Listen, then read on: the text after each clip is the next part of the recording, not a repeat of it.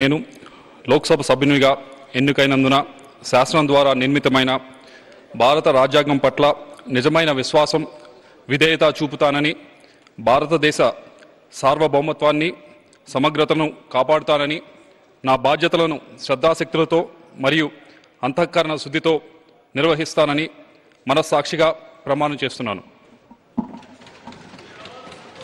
Thank you. Welcome back. As it is uh, one o'clock now. Okay. Well,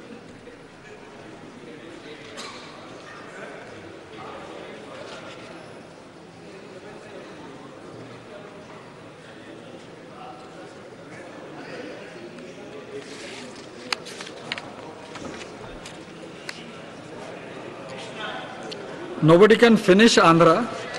It will take another half an hour or so. That's why we are, the House stands adjourned to meet again at 2 p.m.